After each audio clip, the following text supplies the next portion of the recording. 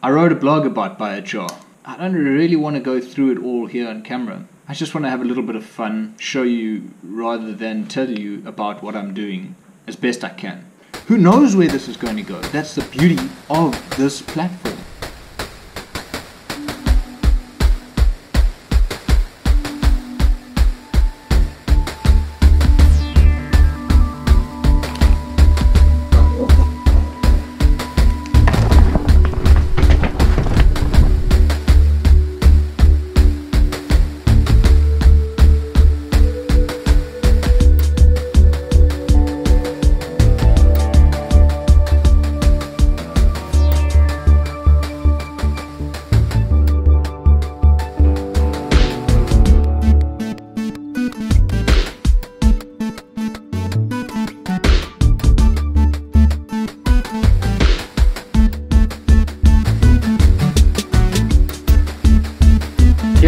Packing the retort with some pine logs I picked up from a sawmill.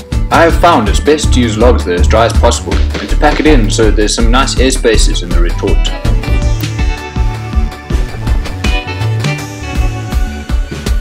The wood I use to start the fire is also collected from the sawmill.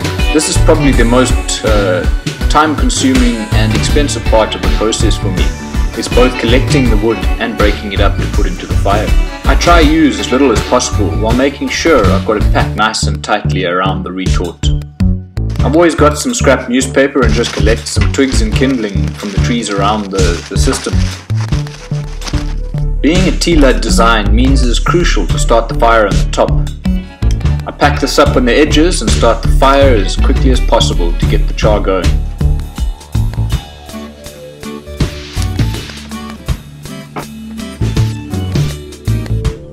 My setup is by no means a perfect system. I burned a hole through one of my drum lids and now I found that by adding a small chimney on top actually increases the draw and improves the process of making the biode. Once I've got it stacked up and the chimney's on, I always take a seat and just make sure that the fire is caught nicely. Originally I thought I could make farm scale biochar and include it into the banana fields, but that became an impractical process. Instead, I've chosen to incorporate it into our vegetable garden. Here we grow cabbages, beans, corn, onions, peppers. It is kind of a traditional Zulu garden and uh, managed by my foreman. The process can take anywhere from 2 hours to 6 hours I've found depending on the amount of wood you use for both the fire and in the retort. Often I'll just leave the system overnight and let it cool itself. If you don't do this, it is important to quench it when you open it up, or else you will have a fire on your hands.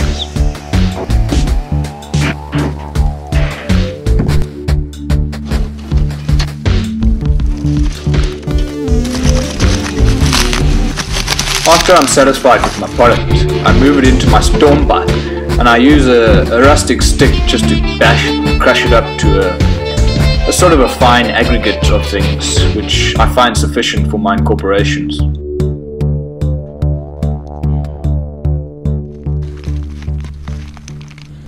If you've enjoyed my content, please hit the subscribe button and like the video, as the more people that join on this journey, the more enthusiastic I will become in making videos.